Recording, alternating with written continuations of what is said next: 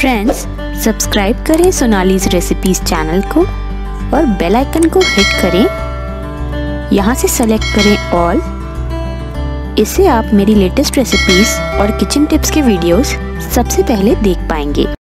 Hello friends मैं हूँ Sonali and welcome to Sonali's recipes channel friends आज हम बनाएँगे सभी को पसंद आने वाला सूखा आम का अचार। इसे बनाना बहुत ही आसान है और ये कम तेल में बनाया जाता है और आप इसे सालों तक स्टोर करके रख सकते हैं और इसे खा सकते हैं। ये बहुत ही ज़्यादा टेस्टी लगता है तो इस रेसिपी को ज़रूर ट्राई कीजिएगा और अगर वीडियो पसंद आए तो वीडियो को लाइक ज़रूर कीजिएगा। चैनल को अभी तक सब्सक्राइब नहीं किया है तो नई नई रेसिपीज़ और किचन टिप्स देखने के लिए चैनल को अभी सब्सक्राइब कर लीजिए। साथ में बेल बटन को प्रेस कर दीजिएगा जिससे आने वाले वीडियोस के नोटिफिकेशन आप तक सबसे पहले पहुँचे। तो आइए शुरू करते हैं आज की रेसिपी को। तो सूखा आम का अचार बनाने के लिए यहाँ पर मैंने एक किलो अमिया ली है, आप इस अचार को ज़्यादा क्वांटिटी में भी बनाकर रख सकते हैं, ये सालों तक खराब नहीं होता है। तो इन अमियों को मैंने अच्छे से वॉश कर लिया था, उसके बाद इसे मैंने धूप में रख दिया था तो इसका जो मॉइस्चर है, वो बिल्कुल खत्म हो गया है, इसमें बिल्कुल भी मॉइस्चर नहीं रहना चाहिए। अब हम इसे काट लेंगे तो आपके पास अगर इसे काटने वाला हसिया हो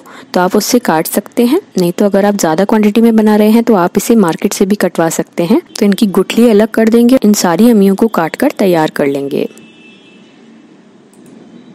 तो ये मैंने सारी अमियाँ काट कर तैयार कर ली हैं।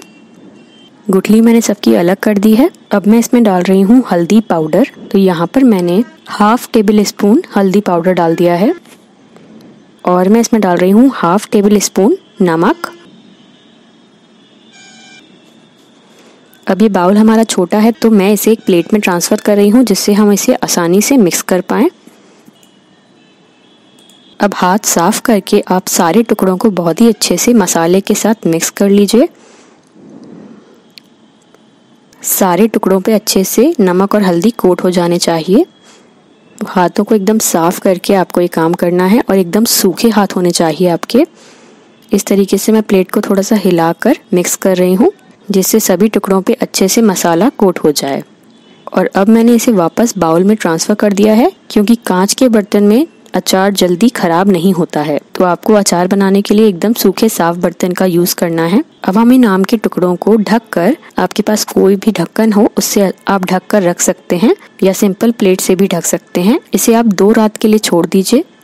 यानी कि 48 घंटे के लिए आप ऐसे ही छोड़ दीजिए, और बीच बीच में आप इसे इस तरीके से हिला दीजिए। ऊपर नीचे कर दीजिए, जिससे जो भी इसके जूस रिलीज़ होंगे नमक से उससे सभी आम के टुकड़े अच्छे से गल जाएँगे। तो इसे हिलाना ज़रूरी है। आपको इसको 24 घंटे के लिए ऐसे ही रखना है, जिससे इसमें से सारा जो जूस है वो रिलीज़ हो जाएगा। और आपको हर तीन चार घंटे में इसे हिला देना है। आप चाहे तो इसे धूप में भी रख सकते हैं। धूप में भी आपको इसे दो दिन की धूप दिखानी है। और अगर आपके घर में धूप नहीं आती है तो आप इसे रात भर के लिए और एक पूरे दिन के लिए ऐसे ही ढककर छोड़ दीजिए, यानी पूरे चौबीस घंटे के लिए इसे ढककर छोड़ दीजिए। तो सारा जूस इसमें से रिलीज़ हो जाएगा। फिर हम इन आम के टुकड़ों को अच्छे से सुखाएँगे और फिर इसमें मसाला मिलाएँगे। तो ये हमने 24 घंटे के लिए आम के टुकड़ों को रख दिया था। आप देख सकते हैं, इनमें से जूस रिलीज़ हो गया है। हमने हर दो तीन घंटे में इसे इस तरीके से हिला दिया था, जिससे ऊपर नीचे के सारे पीसेस अच्छे से गल जाएँ। अब मैं एक छलनी की मदद से इसे छान रही हूँ, जिससे इसका जो सारा जूस निकला है, वो अलग हो जाए। तो ये मैंने आम के टुकड़ों को एक प्लेट पे निकाल लिया है। अगर आप ज़्यादा क्वांटिटी में बना रहे हैं तो आप किसी सूती कपड़े पे इसे फैला सकते हैं, फिर धूप में इसे सुखा सकते हैं। और ये जो हमारा नमक हल्दी का जूस निकला था आम के टुकड़ों से, वो मैंने एक बाउल में निकाल लिया है।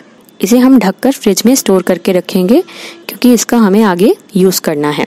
तो मैंने इस तरीके से दो प्लेट ले ली हैं और उस पर अच्छे से आम के टुकड़ों को अलग अलग करके फैला लिया है। अब हम इन दोनों प्लेटों को धूप में रख देंगे और जब तक ये आगे पीछे से अच्छे से सूख ना जाए सारे टुकड़े, तब तक हमें इन्हें धूप सुखाना है। अगर आपके घर में धूप नहीं आती, आप इसे पंखे की हवा में भी सुखा सकते हैं, लेकिन थोड़ी धूप दिखाना ऐसे ज़रूरी होता है, उतना ही अचार आपका ज़्यादा दिनों तक टिकता है। तो मैंने इसे पाँच से छः दिन तक अच्छे से सुखा लिया था। आप देख सकते हैं किस तरह से सारे आम के पीसेस अच्छे से सूख चुके हैं। अब मैं इसे एक ही प्लेट में ट्रांसफ़र कर रही हूँ। आप देख सकते हैं कैसे अच्छे से सूख चुके हैं हमारे पीसेस अब हम इसमें मसाले मिलाएँगे। तो आम के टुकड़ों को अच्छे से सुखाना बहुत ज़रूरी है। तभी जो आपका आम का अचार है, वो सालों तक टिका रहता है। अब मैंने यहाँ पर ले ली है सौंफ। तो यहाँ पर मैंने दो टेबल स्पून सौंफ ली है। इसे मैं एक मिनट के लिए हल्का सा रोस्ट कर रही हूँ, जिससे कि इसमें से जो थोड़ा बहुत मॉइस्चर होगा, वो ख़त्म हो जाएगा। तो ज़्यादा आपको रोस्ट नहीं करना है।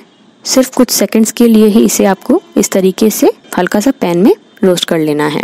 इसी तरीके से मैंने मेथी दाना भी कर लिया है। मेथी दाना यहाँ पर मैंने वन टेबल स्पून यूज़ किया है। इसे भी हम कुछ सेकंड्स के लिए ऐसे ही गर्म कर लेंगे, जिससे इसमें से सारा मॉइस्चर रिलीज़ हो जाएगा। और यहाँ पर मैंने डाल दिए हैं दो टेबल स्पून राई के दाने। इनको भी इसी तरीके से हल्का सा रोस्ट कर लेंगे। आपको इन्हें रोस्ट नहीं करना है, सिर्फ़ हल्का सा मॉइस्चर उड़ जाए। उसके लिए हम इसे हल्का सा गर्म कर रहे हैं। और अगर आपके घर में धूप आती है तो आप धूप में भी रख सकते हैं। यहाँ पर मैंने एक ब्लेंडर जार लिया है। इसमें हम अपने मेथी दाने, सौंफ और राई को डाल देंगे और इसे हम दरदरा पीस लेंगे। तो इसमें मैं थोड़ा सा नमक भी डाल रही हूँ। वन टेबल स्पून मैंने इसमें नमक डाल दिया है। नमक हमने अचार में भी डाला था तो हमें देख कर डालना होता है। तो अभी यहाँ पर मैं नमक डाल रही हूँ और इसको हम बंद करके अच्छे से पीस लेंगे। ज़्यादा बारीक नहीं करना है हल्का सा दरदरा रहने देना है। तो आप देख सकते हैं, ये मैंने अच्छे से पीस लिया है हल्का सा दरदरा ही है। यहाँ पर मैंने सेम पैन में थोड़ा सा तेल गरम करने के लिए रख दिया है। दो टेबल स्पून मैंने यहाँ पर सरसों का तेल लिया है, इसे हम अच्छे से गरम कर लेंगे। और तेल के गरम होते ही हम इसमें डालेंगे थोड़ी सी हींग। तो यहाँ पर मैं हाफ़ टी स्पून हींग डाल रही हूँ। तो ये अच्छे से गर्म हो गया है तेल। अब हम गैस को बंद कर देंगे। यहाँ पर मैंने एक बड़ा बाउल ले लिया है। इसमें हम अपने मसाले मिलाएँगे। सबसे पहले मैं इसमें डाल रही हूँ लाल मिर्च पाउडर। तो यहाँ पर मैंने दो टीस्पून लाल मिर्च पाउडर डाला है। आप कम ज़्यादा कर सकते हैं मसालों को। वन टीस्पून मैंने इसमें हल्दी पाउडर डाला है। हल्दी हम पहले भी डाल चुके हैं तो इसलिए मैंने कम डाला है यहाँ पर। और अब हम इसमें डाल देंगे वो मसाले जो हमने पीस कर रखे थे। और ये मैंने डाल दिया वो पानी जो अचार को हमने गलाया था जब नमक और हल्दी मिलाकर तो उसमें से जो पानी बचा था, वो वाला पानी है ये। अलग से कोई पानी ऐड नहीं किया है मैंने, अचार वाला ही पानी है। अब हम इसमें डाल देंगे वो तेल, जो हमने अभी गरम किया था हींग के साथ। अब हम इसमें डाल देंगे अपने सूखे हुए आम के टुकड़े और इसे बहुत ही अच्छे से मिक्स कर लेंगे। बहुत ही अच्छे से मिक्स करेंगे, जिससे सारे टुकड़ों में ये जो मसाला है, वो अच्छे से कोट हो जाए। इसमें हम तेल बहुत कम डालते हैं। हम इसमें इतना तेल डालते हैं जितना कि ये टुकड़े इसके एब्जॉर्ब कर लें। एक्स्ट्रा तेल नहीं डालते हैं। और ये अचार बहुत दिनों तक चलता है, सालों तक चलता है और बहुत ज़्यादा टेस्टी होता है। अब जितना इसे रखेंगे, जितना पुराना ये अचार होगा, उतना ही ज़्यादा टेस्टी होता है। तो अभी मैं इसमें डाल रही हूँ थोड़ा सा नमक और इसे अच्छे से मिक्स कर लेंगे।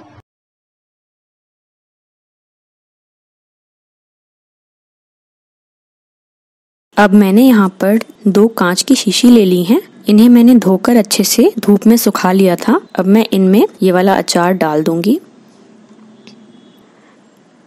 ये मैंने अचार को इसमें डाल दिया है। अब हम इसे बंद करके साफ़ सूखी जगह पर रख देंगे और बीच बीच में इसे धूप दिखाते रहेंगे।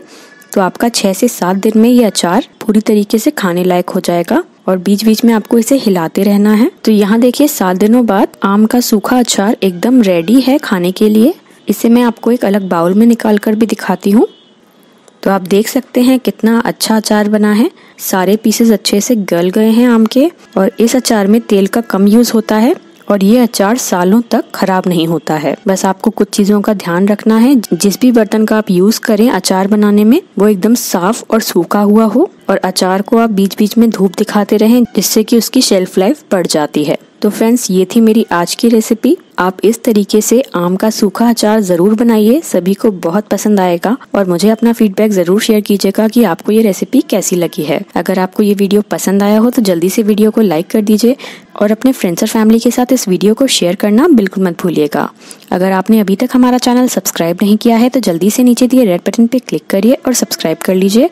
साथ में बेल बटन को प्रेस कर दीजिएगा, जिससे आने वाले वीडियोस के नोटिफिकेशन आप तक सबसे पहले पहुँचे. तो फ्रेंड्स जल्दी ही मिलती हूँ आपसे एक नई वीडियो के साथ। तब तक के लिए stay healthy bye take care and thank you for watching मेरे और भी वीडियोस देखने के लिए स्क्रीन पे दिए वीडियोस को क्लिक कीजिए, आप वीडियो तक पहुँच जाएँगे। और मेरे चैनल को सब्सक्राइब करके मुझे सपोर्ट कीजिए। Thank you